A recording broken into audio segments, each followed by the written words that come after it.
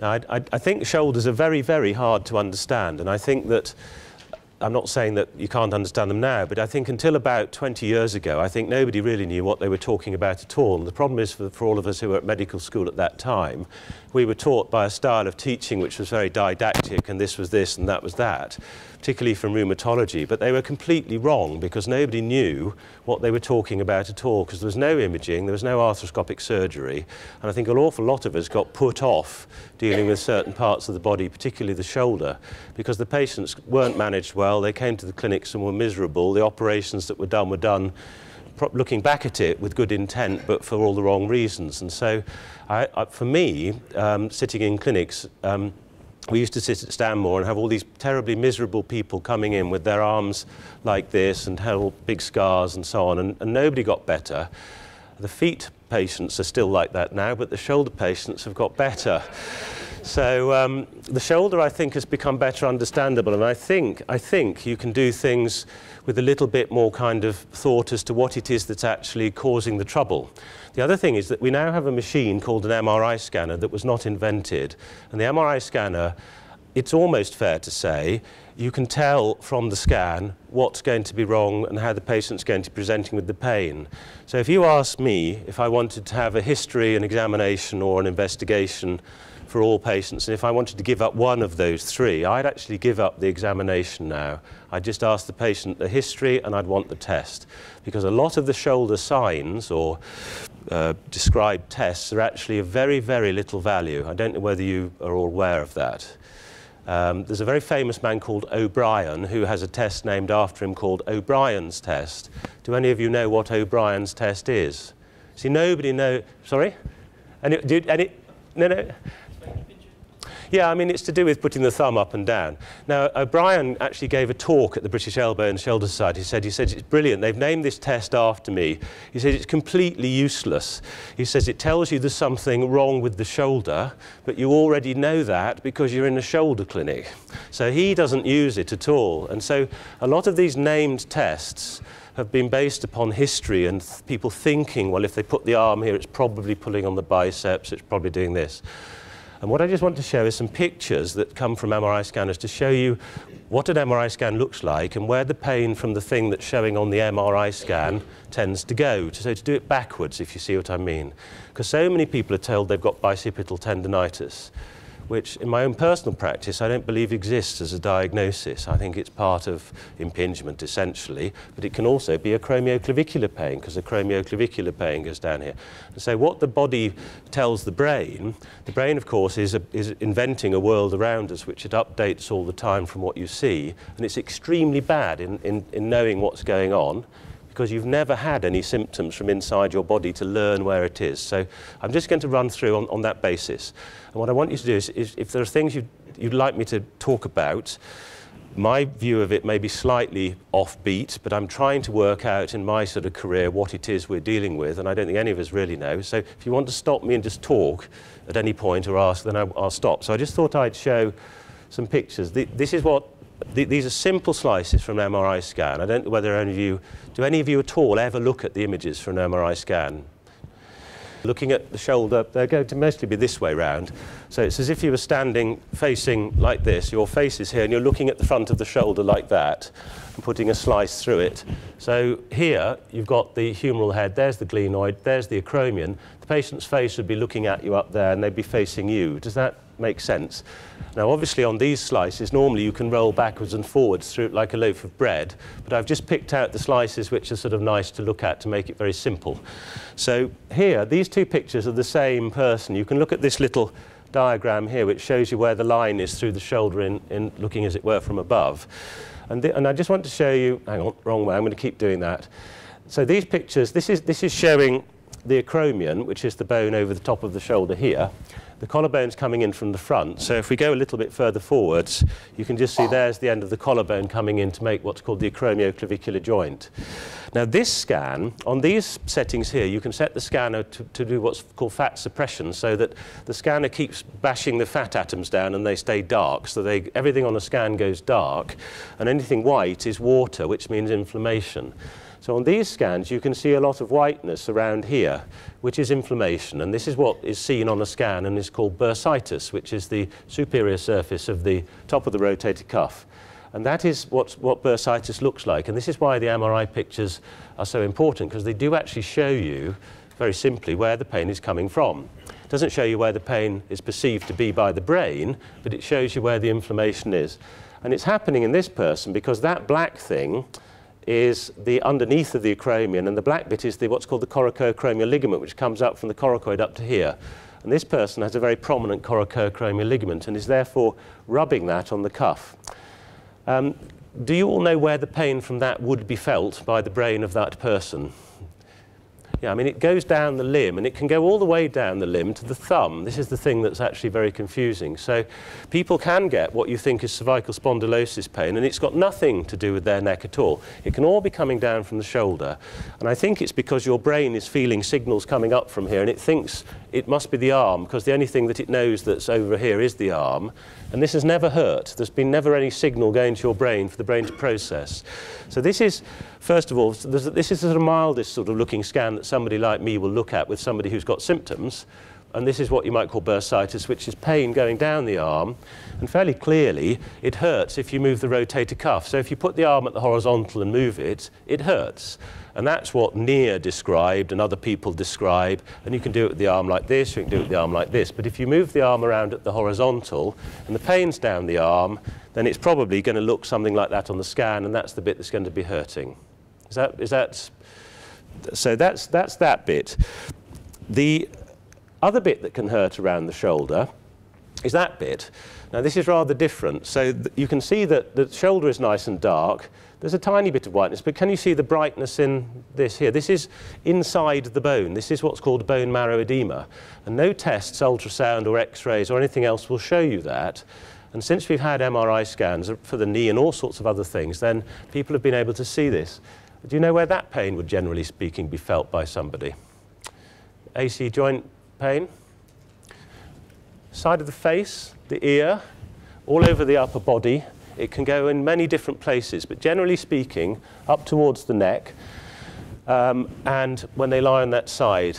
And it hurts when you put your arm up at the top, across your body and behind, which is when you're twisting your AC joint.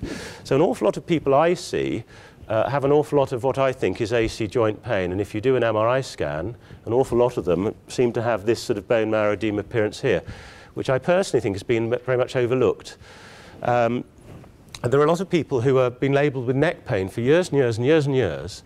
And if they have an operation done for impingement and they happen to have the end of the collarbone trimmed off at the same time, about a quarter of the people wake up with a neck that moves in a way that they haven't been moving for years. So that can be a very potent source, I think, of pain that runs to the neck. And the only thing that shows it is the MRI scan. And trimming out the acromioclavicular joint can be part of doing a surgical procedure to relieve impingement and bursitis pain. I'm not by any means saying that any of these people need surgery, but if they come to need it, then you can find that a lot of people with that sort of appearance on a scan, their pain in their neck goes away as well as their shoulder. And I think this is completely underreported, uh, probably not recognised at all really very much in the literature at the moment. You, have you had any experience of people with neck pain that you might think. And I do also wonder whether some people with whiplash injuries, of course the seatbelt's going over the AC joint area, actually aren't reporting AC joint pain, but that's a little thing to think about maybe in the future. So acromioclavicular joint pain is very common. Um, can I ask if any of you recognise groups of people, what age group of person might get AC joint pain in isolation? Any volunteers for... Would it be, giving you, sorry? Well, rugby players, but par excellence, people who do too much exercise in the gym. So there's a whole group of people who, who spend their lives doing this sort of thing and this sort of thing. And this goes by the name of weightlifter's shoulder. And there is a condition called distal clavicular osteolysis, where this, the, uh, the bone at the end of the clavicle not only gets like this, but actually disintegrates and, and comes to pieces. And so there is a thing known as weightlifter's shoulder, or sometimes I think cyclist shoulder, uh, where you actually just dissolve away the end of your clavicle, probably due to a sort of ongoing minor trauma all the time. So I think it's very unrecognised. Uh, but an awful lot of people in their 60s get acromioclavicular joint pain, probably in, in, in excess of those that get impingement pain, actually, I think. The AC joint is a very potent source of pain. in the people I see in my practice, and I have a I perhaps have a group of people who come to see me that are different from the ones that come to see you. But so that, that, that sort of pain, I think, is very much under recognized. And the reason the MRI scan is so useful is because you can actually see that. And the other thing is you can actually show people that as well. And you see, for quite a lot of 30-year-olds, if they can see that and they say, well, that's hurting, I understand, you can say to them, well, go off and do as much weights as you like, and it might go away in a year and a half, which solves the problem. So one, one test, one bit of advice, you know, that, that can be all you need to do. So I find an MRI scan very helpful. That's not shown at all on an X-ray or an ultrasound scan. There's no, you know, and people completely overlook it. And I think there's quite a huge group of people out there with AC joint pain. So that's that. Now this is um, the AC joint doing the other thing it can do. Look, instead of getting a prominent acromion, you can see that enormous great lump that's formed on the underneath of the acromioclavicular joint and how the rotator cuff is is having to do that great sweep through underneath there. So this is the second place of impingement. You get impingement at your coracoacromial ligament at the corner of your acromion over there, but you can also get uh, impingement through your very knobbly acromioclavicular joint here. And can you see that the rotator cuff tendon is coming through here? and it's starting to pull away from the bone here. That's a, that's, an, that's a little tear at the insertion of the rotator cuff. The muscle should be grey, and the tendon on an MRI scan, because it's got no water in it, should be black. So that black tendon should come all the way down there, and that little white bit is the beginnings of a tear. And that's what people are talking about when you get these reports that say it's torn. Now, I don't think the word tear should probably be used in MRI scan reports because patients seem to get frightened and worried about it.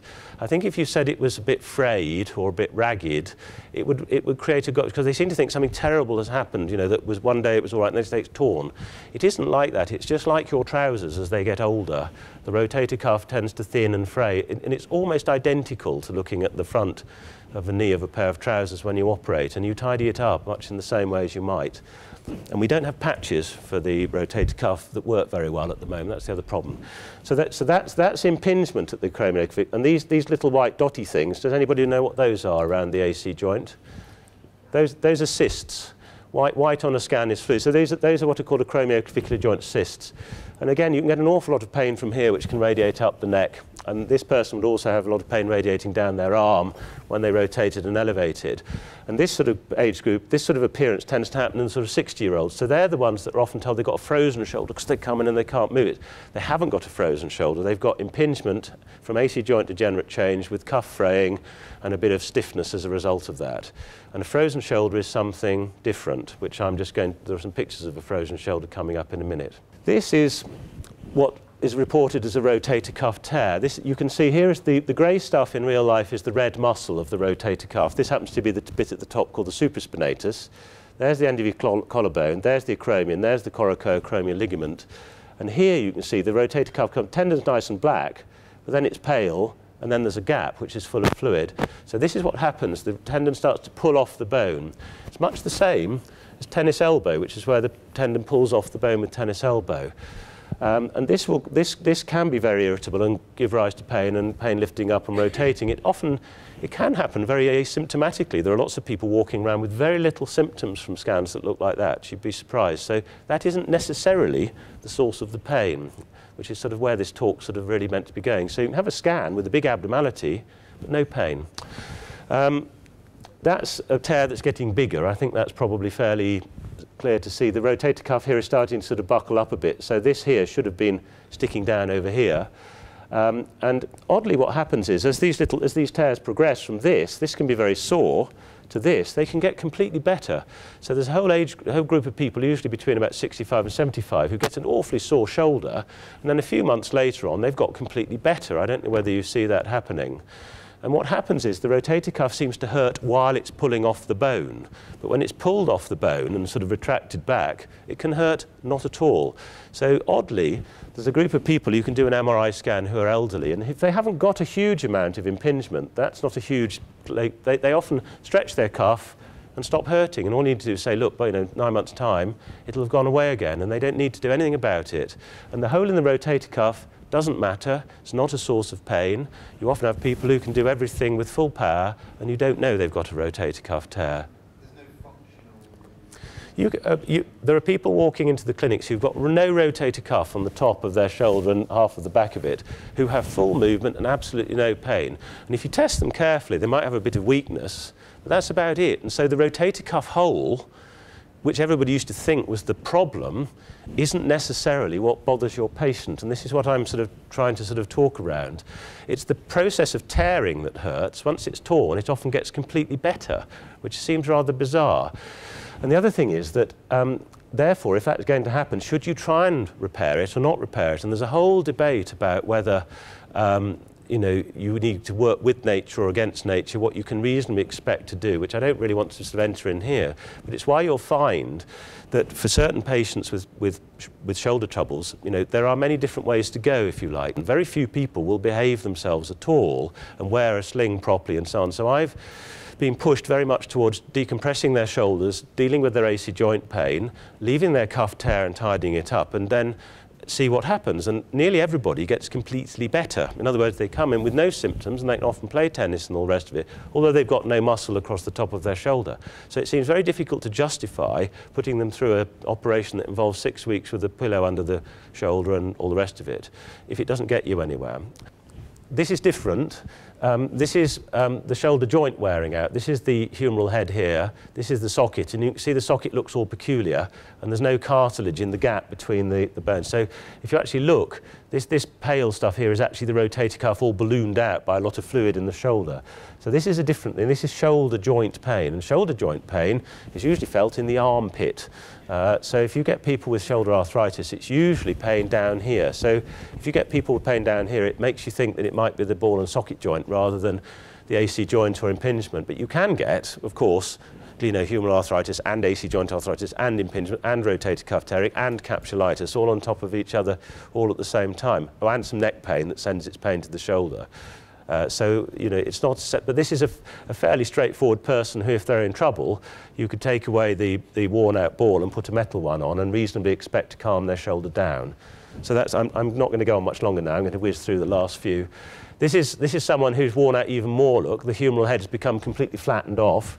And all these, you see these things here? They look like small um, uh, broccoli sproutlets or cauliflower sproutlets. And these are what are called loose bodies. And this lady had about six of them, the largest of which was almost the size of a golf ball. And so she, we didn't treat her glenohumeral arthritis. We just washed out the shoulder. We did smoothed off the, the acromion and the AC joint, which is much more knobbly than is shown on here. Took the loose bits out, and she's now got no pain at all. But she's still got her glenohumeral arthritis. And glenohumeral arthritis isn't often very painful, actually, despite what I've just said. Um, now this is, sorry, it's flipped the other way around. I forgot to flip it around the other way.